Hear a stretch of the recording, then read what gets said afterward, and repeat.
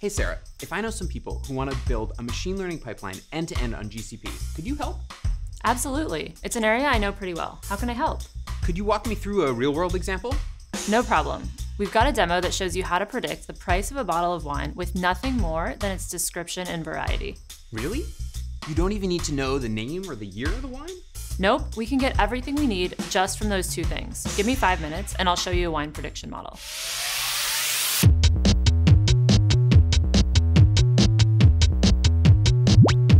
Let me explain how our model works. The trick to predicting the price of a bottle of wine without needing to know the name or year is to use a model that allows us to extract more meaning from the wine's description. We can't feed the raw text of our wine descriptions directly to the model, so we'll first need to encode it in a numerical format that our model can understand.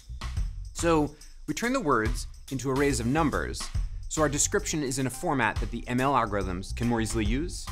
Yes, and there are many ways to transform text. If we use multiple types of transformations at once, our model will be able to identify more complex relationships in our data. We'll use what's called a wide and deep model to predict each wine's price. For the wide part of our model, we'll represent our text as a bag of words, which will look like an array of ones and zeros, indicating the presence or absence of certain words from our vocabulary. In this example, our vocabulary includes the top 12,000 words from our entire text corpus of wine descriptions. So what makes this a wide model? Good question. We'll be transforming each text description into a single, long vector, the same size as our vocabulary, in this case, 12,000 elements. For the deep part of our model, we'll create word embeddings, which is just a fancy mathematical way of saying that we'll use vectors to measure the similarity between words.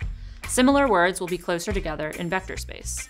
Ah, so we call this deep because instead of using a single long vector, we use many shorter vectors to capture words that are closely related. Exactly. And the number of vectors for each description depends on how big you want your embedding space to be. Here, we're using an eight-dimensional embedding space. Okay, I think I get it. So how do we actually train this model? Colab has everything we need. It's an interactive and collaborative Python notebook that you can access directly from the browser, completely free. To train our model, we'll use a TPU, which stands for Tensor Processing Unit, Google's custom ASIC designed specifically for machine learning. It's just three mouse clicks to change your runtime in Colab to use a TPU.